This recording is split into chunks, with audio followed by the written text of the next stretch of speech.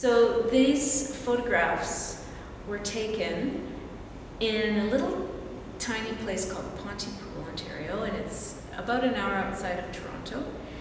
It, um, we used to go there um, during the summer, and this is a, a resort. So this particular photograph depicts one of the parties that they had a party every weekend, and this happened to be a costume party. So as you can see in the picture, I'm dressed up in a blackface. My brother is four years old in this picture, and he's dressed up as an Indian brave with the war paint and the feathers. And my little sister is just sitting at the bottom with a sucker. The parents and grandparents of all these children are Jewish immigrants from Eastern Europe.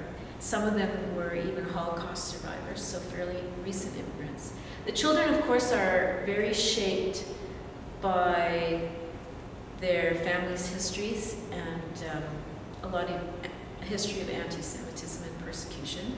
So that's the family, but what becomes even more powerful, I think, is the media of the day. So this is a time of John Wayne, Cowboys and Indians on TV, um, white picket fences on Leave It to Beaver Street.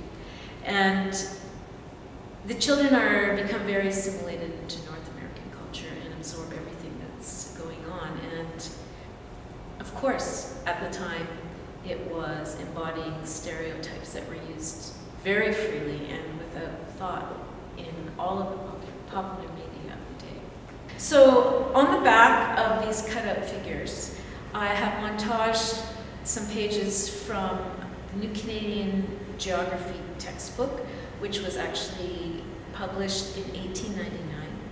And I've chosen some pages from the human geography area where they've actually illustrated a globe and marked off the world in races. So brown race, yellow race, red race, black race, and white race.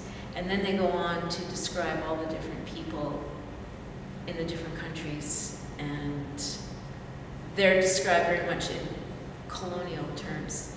So when I first read this a few years ago, it was really shocking to read it and really seeing where this colonial thought, where the colonial thought was at the turn of the last century. But um, as I thought more about it, I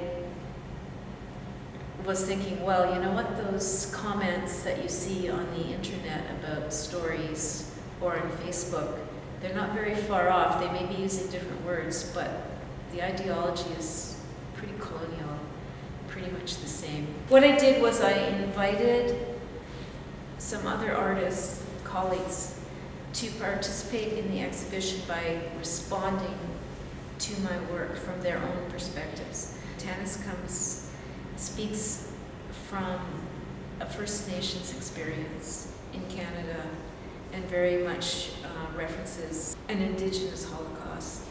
And she made that connection when she spoke, when we talked about the background of the people, the children in, in this photograph. And Samuel Roy is speaking from a mixed heritage position. That's a photograph of him and his daughter.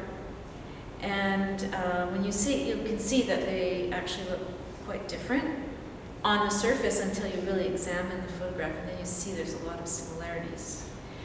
Um, so he also installed a mirror. A lot of the intent of this work is for the viewer to feel ref themselves reflected in this work. So for him to actually pick up on the idea of the mirror was amazing.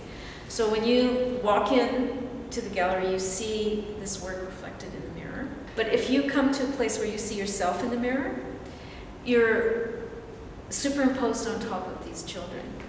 So actually in the evening of the opening, a number of people came up to me and told me about the Indian costumes that they had when they were little.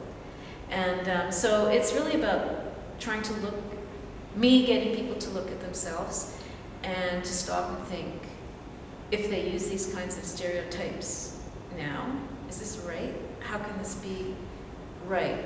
How can I be appropriating other people's